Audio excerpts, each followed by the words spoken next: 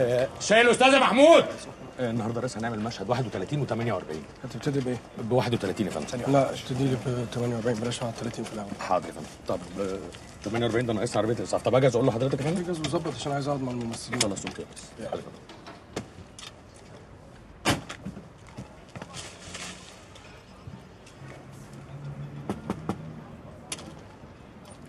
أستاذ طارق.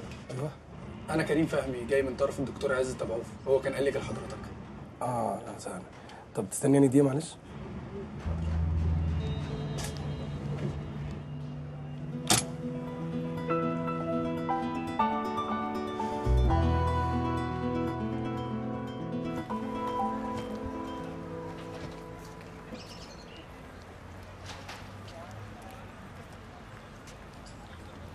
شادي صباح الخير. sorry الدنيا زحمة بجد. فين ال stylist عشان أجهز؟ هو أسواني ما كلمكيش؟ كلمني امبارح بالليل بس كنت نايمة.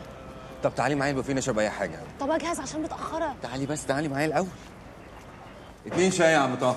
ازيك يا عم؟ امبارح كلمنا أسواني عشان يعني فين بتعمل إيه هنا؟ ازيك يا ياسمين؟ baby ازيك؟ مش أنا ال hero بتاعت الإعلان؟ حصل تغيير امبارح. يعني إيه تتفقوا معايا وتجيبوا حد تاني؟ مش إحنا. ولا مكتب ال casting. والله ال client. client! هم اللي غيروا رأيهم. مش عليا يا شادي. هو أنا اللي غلطانه عشان تاني مرة مش هشتغل غير مع رجالة بتحترم كلمتها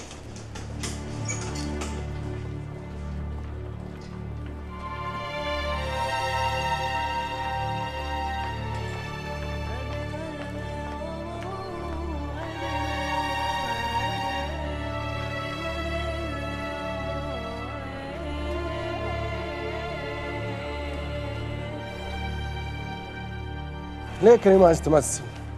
تحب التمثيل ولا أكل عيش بالنسبة لك؟ لا طبعا بحب التمثيل هو حضرتك لو على أكل العيش ما أنا دكتور أسنان أصلا والله؟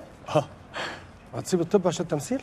آه ده قرار خلاص بس التمثيل ده حاجة صعبة قوي عايز موهبة وعايز قبول وعايز حظ ممكن تقعد سنين كده ما توصلش لحاجة ليه كده؟ والله حضرتك أنا هعمل اللي عليا والباقي بقى ده بتاع ربنا آه طب أنت عارف محمد رجب مش كده؟ آه طبعا انت عارف ان هو قعد سبع سنين يشتغل في إنتاج وإخراج وحاجات كتير جدا لغاية لما جات له الفرصه يمثل أنا عايزك تعمل زيه. نستاذن حضرتك يا ريس تبص على الفلوس بس عشان نصور؟ يلا جاي لكم حالا. لا بس حضرتك أنا ما بعرفش أعمل حاجة غير التمثيل. مش مهم. أنا عايزك تبقى جاي لك الفرصة لغاية عندك تبقى في المجال بتاعنا. ما تقعدش تجري ورا مخرجين ومنتجين. فاهم قصدي؟ اشتغل في الإنتاج؟